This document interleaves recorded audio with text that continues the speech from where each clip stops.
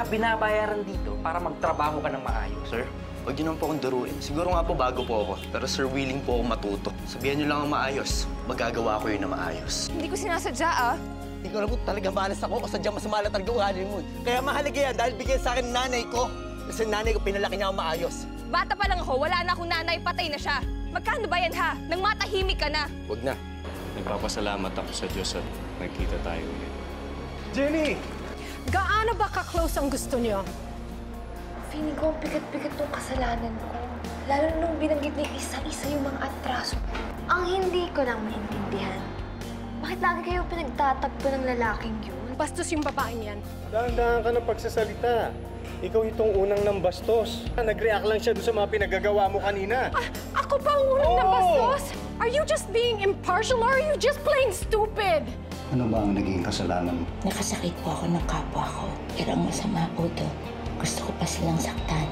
Huwag mong hayaang palamunin ka ng galit at poot. Isipin mo, kapatid mo sila kay Kristo. Sumugod na naman ng martilyo gang sa loob ng isang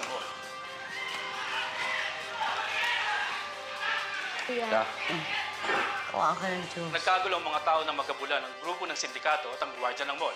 Hanggang ngayon ay pinaghahabol pa rin ng kapulisan ang naturang grupo. Wala namang napaulat na nasaktan sa naturang insidente. Si Mama yan ah! Oh! Anak ko yun! Oo nga, no?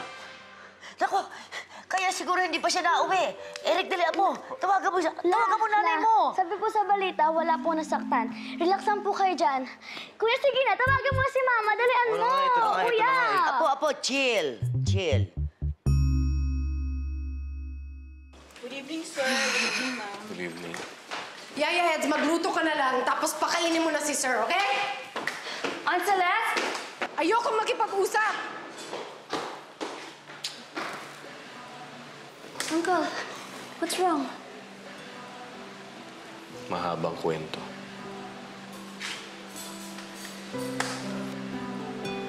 I'm willing to listen po.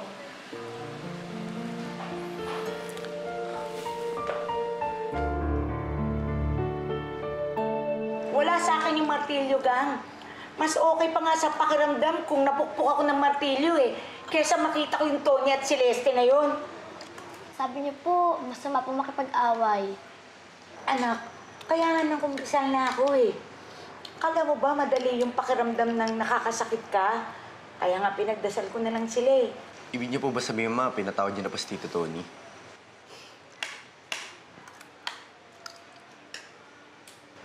Akala ko nga anak, napatawad ka na eh.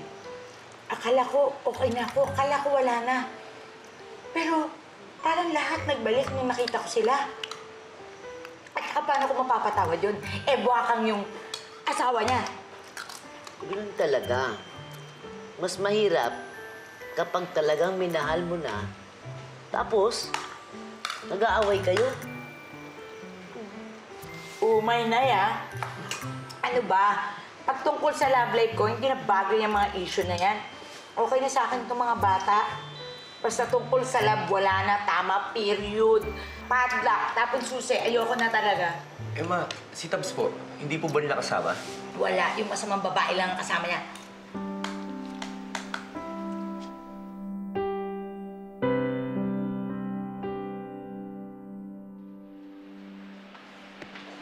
Yaya, andiyan na ba sila, Daddy? Ay, oo, kanina pa. At nako, hindi yata sila nakapag-date. Bad trip na bad trip yung tita Celeste. Hmm, May nangyari sa kanila kanina. Uy, ano nangyari? Eh, ang dinig ko, nung nagkukwentuhan sila ni Lucci kanina, eh nagtagpo sila ng landas ng ninang Jenny mo. Ninang Jenny? Oo. Paano nangyari yun? Ay, naku, hindi ko nga alam eh, kasi nakikinig lang ako eh. Pero kung ako sa'yo, puntahan mo na lang yung daddy mo kasi medyo hindi sila okay ngayon ng tita Celeste mo eh. Okay, sige, sige. Wait lang, Yaya. Uy, Pia, mo sabihin kinuwento ko sa'yo, ah. Oo naman.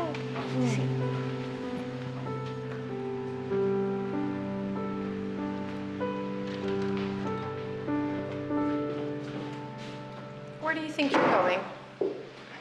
Kakamustahin ko lang po sana si Dad. Your dad is resting. Ako nang nag-aalaga sa kanya. Kung concerned ka, you can just see him tomorrow.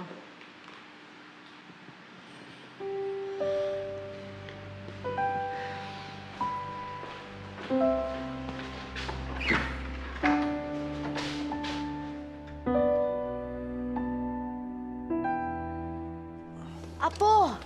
Po. Ano ba kasi nangyari dyan? Ah, wala, wala. Nasanggi lang sa sasakyan.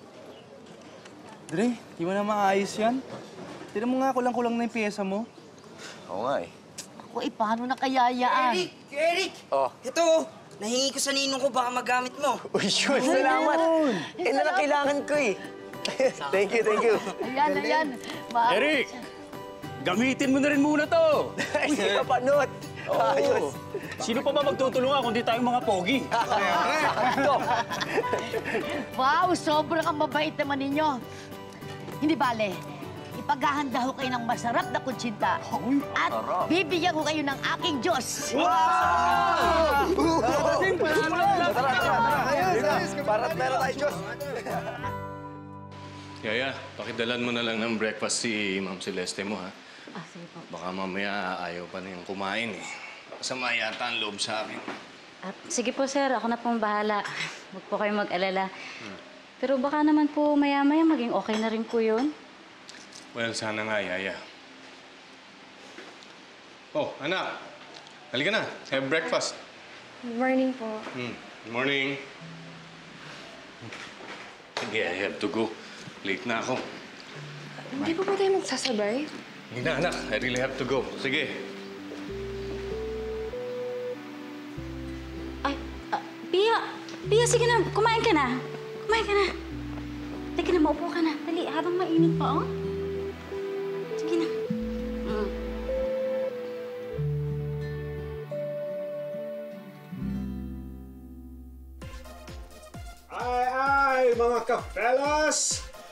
Kasama natin ang pinakamagaling na DJ sa panahon natin ngayon. At simula sa mga susunod na araw, araw-araw nyo silang makakasama tuwing umaga. Ha, mga ka-fellas! Our Sugar Rush Babes! Sila Bebe Yonsei at Katy Perry! Thank you, DJ Digest. Ito po ang iyong nag-iisang fairy godmother ang magpapa-roar sa inyo tuwing umaga, DJ Katy Fairy. At eto naman po mga kapelas, ang inyong Reyna ngayong umaga na magpapasaya sa inyo, si Queen Beyonce!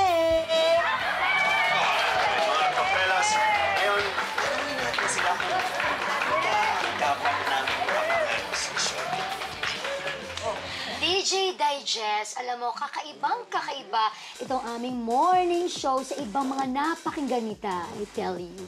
Ay, oo, nako. Kami lang po ang sweet na sweet na hindi nagkaka-diabetes. Dito po sa ating Sugar Rush. Iwas bitter, iwas bad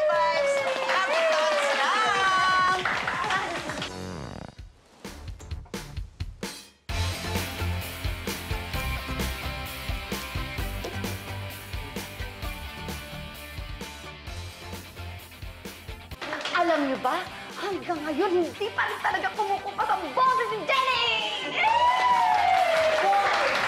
Anak ko yata yan.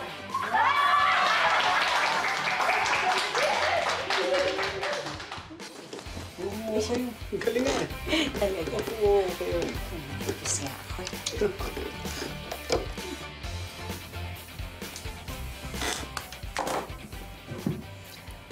Anong feeling mo? Reyna? Queen Bee?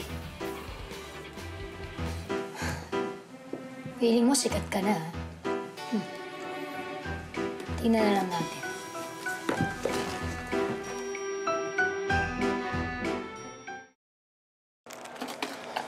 Kanina pa tayo palakad-lakad. Napasukan na yata natin lahat ng butik sa mall na to. Bakit wala ka pa rin binibili? Connie, hindi naman kasi madali maghanap ng gifts. Para sa tatlong tao pa. Sorry guys ha. Pero kung gusto nyo, pwede nyo ako hintayin sa coffee shop. So, ganun. Kailangan nang konsensya ka. Okay, okay na, okay na. Ang hindi ko lang naman kasi ma-feel dito, bakit kailangan mo pang bilang ng regalo yung daddy mo? Yung tita Celeste. Lalong-lalo na yung human-like serpent ng Lucci na yan, ha? Ay, nako, Connie. You have to understand na hindi lang si Daddy yung kailangan ko i-please. Pati na rin yung dalawa. Kasi ang nangyayari, ako pa yung naiiwan. Ako pa yung nagmumukhang kontrabida. Eh, how about the one na gumawa ng tula for you? Di ba sabi mo kanina, bibilhan mo rin siya? Oo nga pala, no? Buti na paalala mo. Actually, kailangan ko yung pumunta sa bookstore eh. Kakausapin ko yung manager. Kasi, di ba may nagawa tayo kagabi? Hindi kailangan kong kausapin yung manager. My goodness.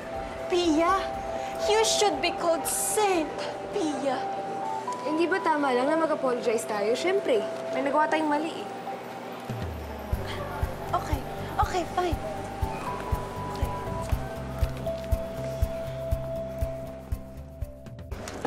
Salamat po, boss. Oh, bakit ngayon ka lang? Ah, sorry po, boss. Eh, nasira po kasi yung bike ko, kaya inayos ko po muna eh. So kailangan talaga sa lahat ng bagay may sagot ka, ano? Eh pati ba naman bike mo, ako pa may problema? So ano gusto mo, papasundo pa kita?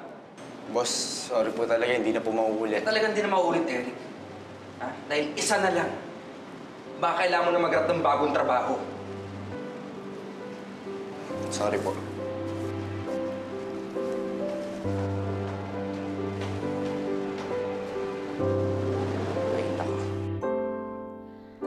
Okay, fine. Partners na kung partners kami ng Jenny na yan. Pero kung gusto mo talaga matuloy ang sugar rush, kailangan i-rush mo rin ang mga kondisyon ko. Una, gusto ko lagi akong una sa billing. Hindi pwedeng babanggitin ang pangalan ng Jenny na yan bago ako.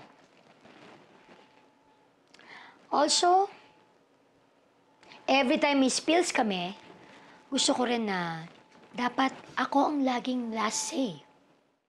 Ibig sabihin nun, no one speaks after me. Dapat laging linya ko yung matatandaan. Okay? And, I want an increase. Kailangan malayo ang sweldo ko dun sa Jenny na yan. Di hamak na mas malaki ang sweldo ko. Okay, no problem with that. Another thing. Gusto ko, sa paparty ni boss para sa Sky FM, partners tayo.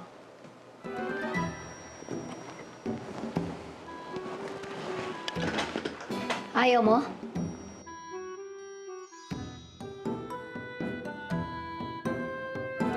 Naku, huwag mo nang isipin yun. Mabuti at umamin ka at tinaka kong kasalanan. At ah, salamat at may concern kayo sa empleyado namin dito. Ayoko lang po talaga makadamay ng ibang tao. Sorry po. Sorry po talaga. Walang problema. So, paano? Iwan ko na kayo dito. Yes, salamat po ah. Sige Thank po. you. No problem. Sige po. One down. Isa na lang. Okay. Hi, excuse me. Um, I'm not so sure if you remember me, pero ako yung nakaiwan ng planner. Ako yung nakabelo na blue-green, nakatakip. Ah, oo. Oo, ako yun, Black oo. planner ba yun? Mm, ako yun. Okay. May iiwan sana kasi akong something para dun sa nag-solo yung planner ko. Baka sakaling bumalik siya dito. Pakibigay na lang, Ah, please. staff namin siya eh. Talaga? Ah, teka. Ah, saan ba yun? Lang pala. Lapit. Oh, ayun na pala siya eh. Ayun na. Oh, no. Hmm. Ikaw?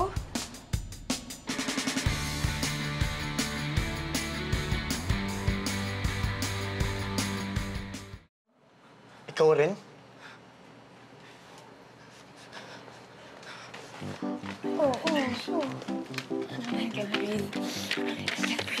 Please, kaya mo yan. Okay lang, okay lang. Girl, ano pang hinihintay mo? Bigay mo na. Go na. It's okay, it's okay.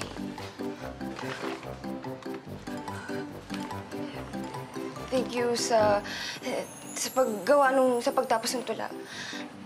Okay, thanks. Bye. Bye. Bye.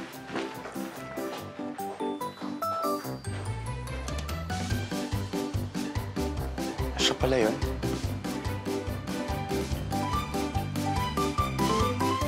Grabe, feel so bad, guys. Inaway-away ko siya, tapos yung pala siya yung nag-save sa akin. Siya yung bumuo ng poem. Malig. Don't be too hard on yourself, Pia. Ang importante naman doon, nakapag-thank you ka, nabigay mo yung card, kaya na yun. Pero come to think of it, ah, sobrang dami kong atraso sa kanya. As in, ang dami talaga. Parang kulang pa yung card eh. Kulang pa yun. Parang dapat, I need to make bawi more eh. Yung, yung mas grabe. Alam mo, at least learn from your mistakes. Correct. Tsaka kung gusto mo talaga makabawi sa mga mistakes mo, ayusin mo lang yung gusot nyo. Bigyan mo ng peace offering. Really? So, kailangan mag-effort pa siya, ganun. Para sa guy na yun. Pia, wag na. Hindi, hindi, hindi. Wait, actually, okay lang yun eh. It doesn't need to be that expensive. Such a waste of time para sa isang nobody. Connie, you're so rude.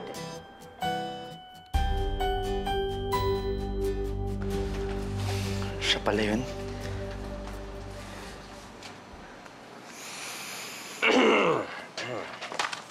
On the job ka. Bawal ang lutang. Ah, sorry po, sir. Uy,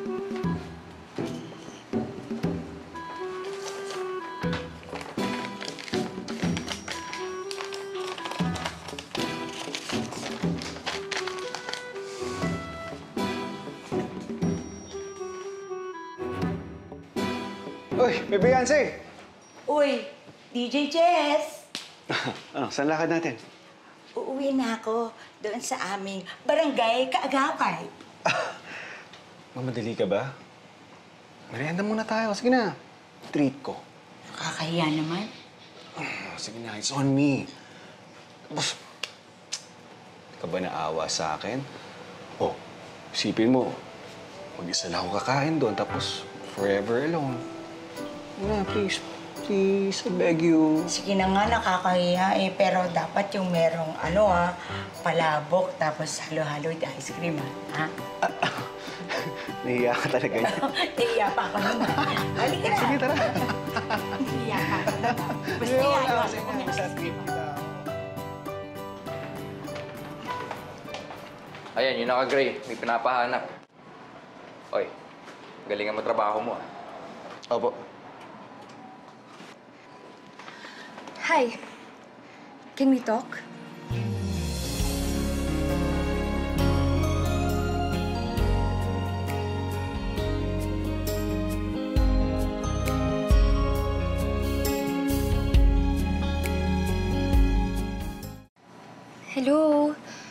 Sabi ko, pwede ba tayo mag-usap?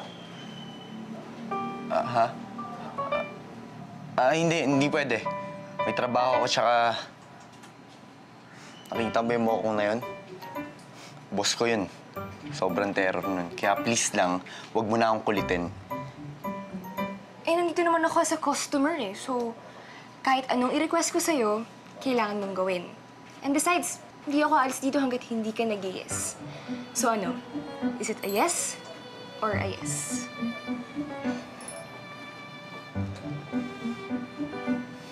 Sige na, sige na. Pag-break time ko. Yes, okay. See you, G. Anong G? Game. Sige, see you.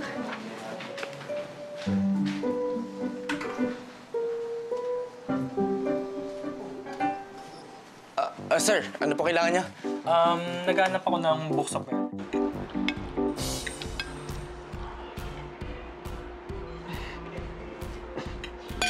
Sorry. Dahil sa na. Di ba, winani nga naman kita. Rated SPG ako ngayon. Super patay gutom. Hindi, joke lang din.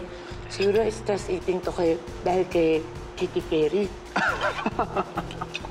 joke lang ulit. Pero buti na may maintain mo yung figure mo. Sexy ka pa rin kahit malakas ka kumain, ha? Di naman. Ikaw naman.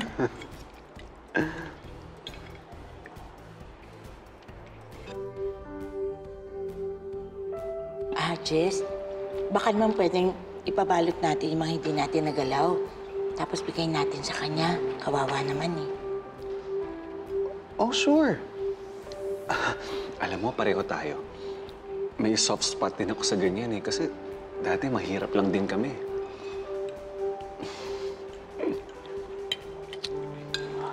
You know what? Hindi ko lang funny. You have a good heart. Indeed, you have a great personality. Kaya ka nagtataka ako, bakit, bakit nahihiya kang pumunta doon sa event ng Sky FM?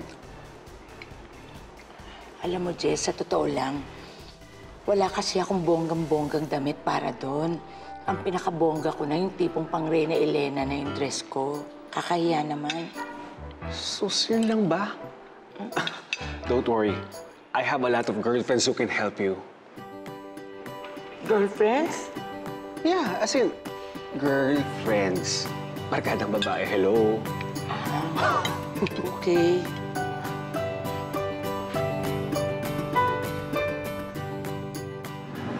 Salamat to.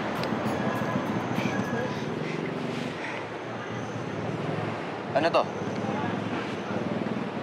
Peace offering. 15 minutes lang ang break ko eh. Ano ba talagang gusto mo sabihin? May mga paganto-ganto ka pa. Wala lang. Gusto ko lang ulit mag-thank you dun sa poem na ginawa mo. Eh, Di ba binigyan mo na ako ng card? Ano pa? Tsaka gusto ko mag... Gusto kong mag-sorry sa mga... Sorry? Saan? Pwede paki-specify naman, paki-detalye lang please.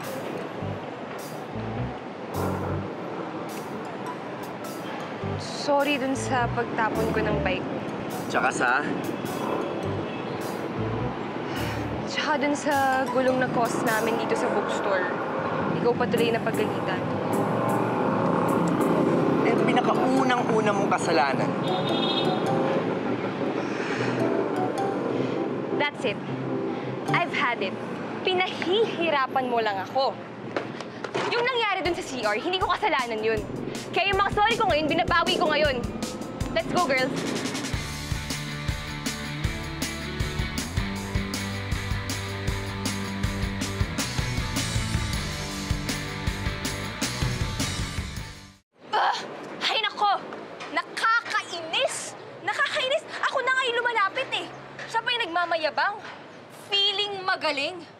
Feeling gwapo. Pwede ba, Pia? You've done enough. Ikaw na it girl, magsasayang ng oras isang contract employee. Hoy! Half-contract employee ka naman. At least man lang nakapag-sorry si Pia sa tao. Okay na yon, move on na, move on. Okay. Move on. Move on. Tara. Okay, fine. Move on, move on.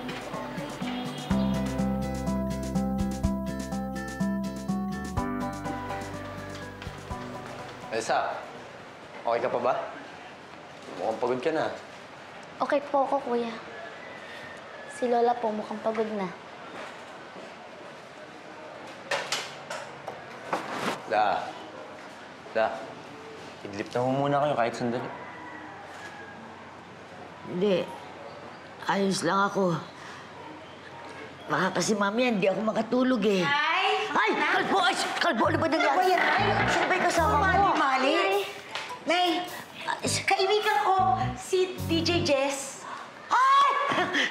TJ Jess! Hello po. Hello! Halika, enter ka. Pasok, pasok. Pasok ka.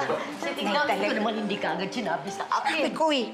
Ah, Nay, pinahiram niya ako ng damit. Ha? Talaga? This is really for you. Ay, so ngayon wala ka ng dahilan para hindi ka pumunta sa party, ah.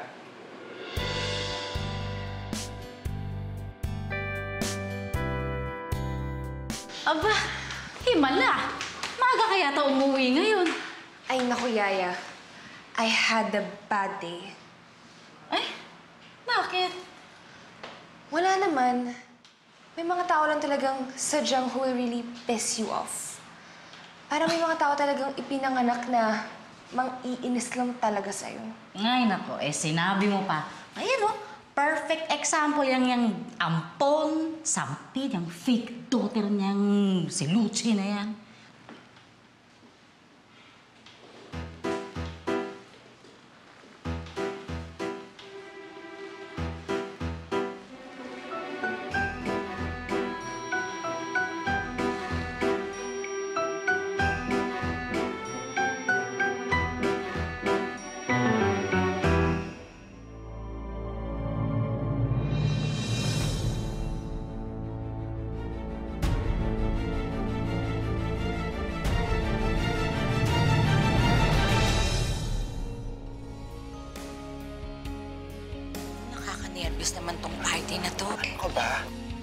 Relax ka lang, ha? Sino nagsabi sa'yo suotin mo yan? Hindi ko naman alam eh. Ubarin mo. Katie, pag-usapan natin to, wag naman. Sabi ko, ubarin mo yan ngayon na! Kahit na ba magkapareho silang damit, walang karapatan yung Katie na yan na api-apihin tong anak ko. Kung pwede nga lang, sanang lamunin na lang ako ng lupa sa kahihiyan. Sana ganun na nga lang yung nangyari. In fairness naman, maganda yung chikahan natin kanina, di ba? So, feel na feel mo naman, you'll never make it. Makakasira ka lang sa show. Ayan! Book sharing for street kids. Siguro naman, Dad will see me in a different light after this, di ba? Pag nag-join ako. Kaya lang, kailangan natin mag-sign up. And of all places, sa book station bookstore na yun.